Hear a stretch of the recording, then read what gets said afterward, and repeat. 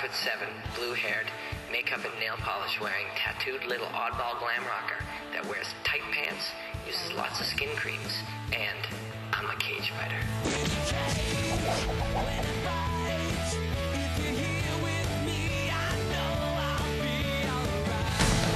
Blood in there. I don't know what that's from.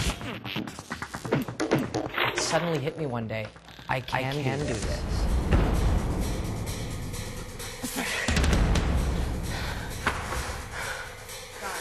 It's scary when a flurry of punches comes at you from a world champion. So then you start thinking, hey, Georges St. Pierre's kicking my ass. That's pretty cool. It, it hits you like, what if I mess up? My Ribs are killing me. You're choosing to do this. Don't cry to me when you get hurt. Failure is the thing that terrifies me the terrifies me the most. Every day that I put in hard work, I feel like I'm a step closer. Some people climb mountains and some people run with the bulls and do all that kind of crap. This is 10 of those.